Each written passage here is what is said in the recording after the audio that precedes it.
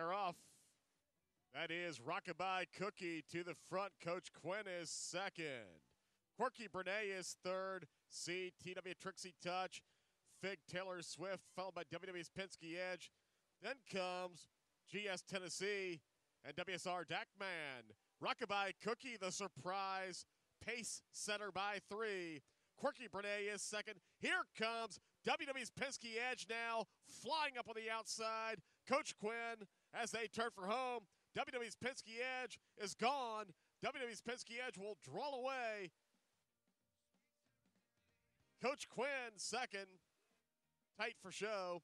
Looks like GS Tennessee able to outnod WSR Dakman for the third position.